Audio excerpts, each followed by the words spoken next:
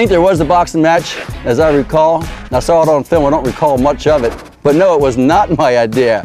The other two fat guys I was with, uh, Jeff Cernick, who I think he ate his little brother when he was a kid, and uh, a guy named Norman Alton. Norman Alton said uh, he was in real good shape. He'd lost like 30 pounds hitting heavy bag. He wanted to box somebody. I said, you want to box somebody? We got somebody for you to box.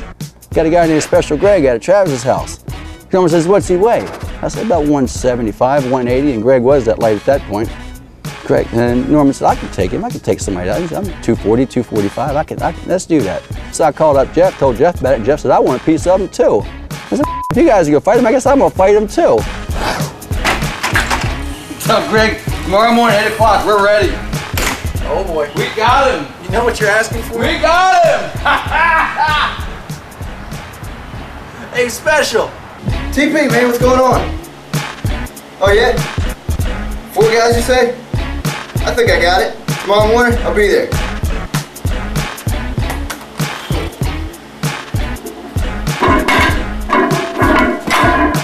I don't think I'd get in the ring with Greg. Hello, everyone. I'm Philip McCrevis. Alongside me, Ben Dover, boxing analyst. We're here at the Pastrana Land Boxing Classic. We got the old guys versus Special Greg, and it's on today. I'm gonna take one for the core! Super five! Let's say it, round one. Well, that was my very first swing, and that was uh, Greg's very first swing. It just, it, mine didn't make it, and his made it like with a little extra something on it. Let's see the instant replay. All right, let's do it. Wow. I had to go back out for one more round because I figured whatever hit me with, he can't have two of them.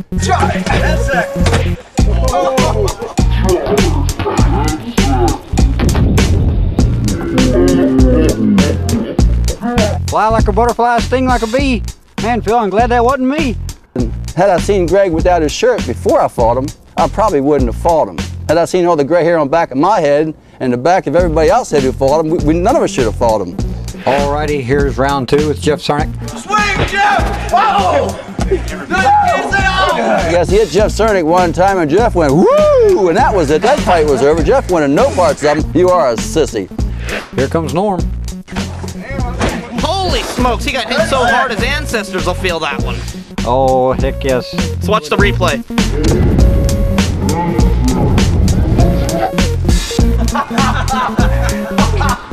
Here comes Tom P. Greg, I'm coming for you! The street bike maniac. Yeah, get big! Yeah!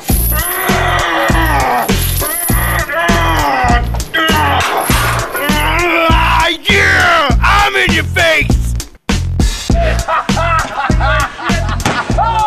Wow, Tommy really took one there. I would have felt like a sack of taters. Come on, Greg, knock him the F out! Oh, oh, get on your knees!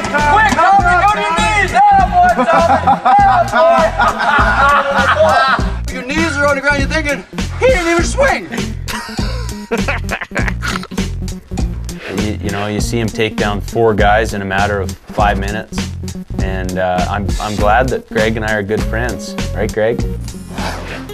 I saw those men fighting that day, and I thought to myself, this is a stupid.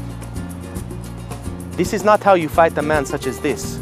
You must fight him like a rooster. A rooster will hide in the trees or the bushes. He will wait for the man to walk by, and, and then he will jump out, and he will fight him and, and scratch him with his sharp rooster fingers. This is how you fight such a man.